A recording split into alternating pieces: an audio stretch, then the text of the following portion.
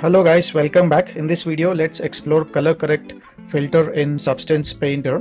Right now I've got a sample file. Uh, it's a Jade Toad model from the Substance Painter sample files.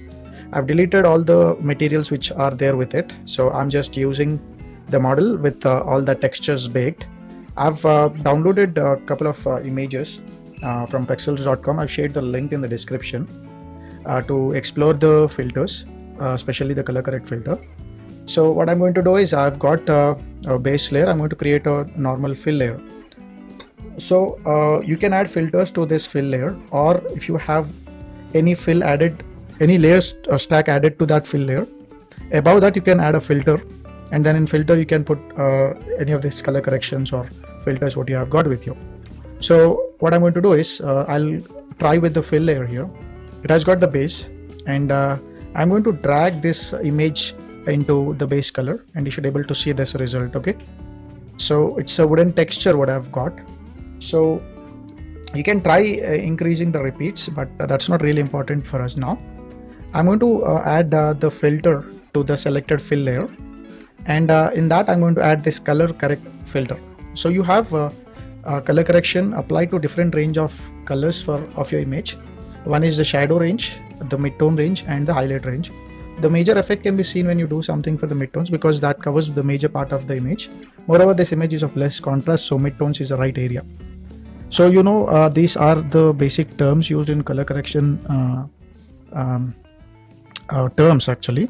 So when you're talking about color correction, it's all about you have levels, contrast, hue, saturation, etc.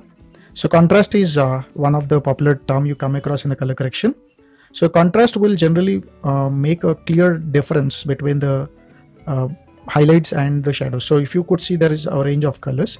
So when I increase the contrast, that color is clearly visible. I mean, the darker pixels become more darker and the brighter pixels become more brighter. So that's contrast. And when I reduce that, the the image will become equalized. Um, this, the the difference between the highlights, midtones, and shadows will tone down drastically and we have luminosity which makes the picture brighter. And then we got uh, the less value for the luminosity. It gives that more character to this image.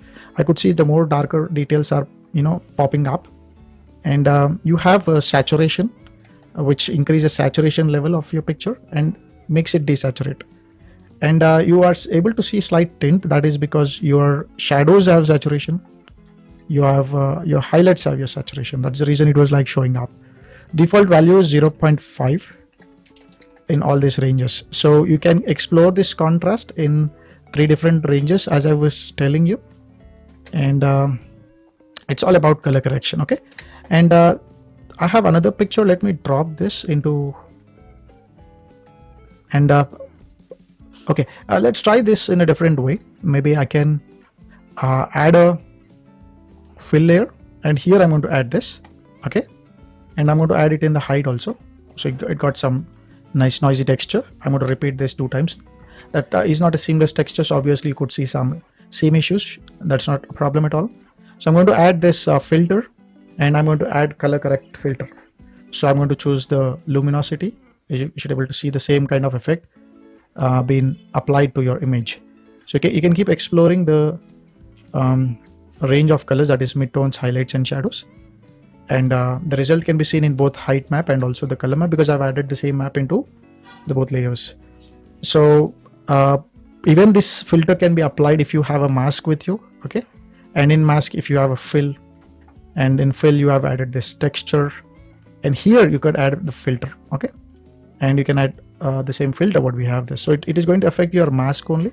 So it will not touch your fill elements at all. So there is a huge potential in using filters and color correction is a very common requirement when you're dealing with images.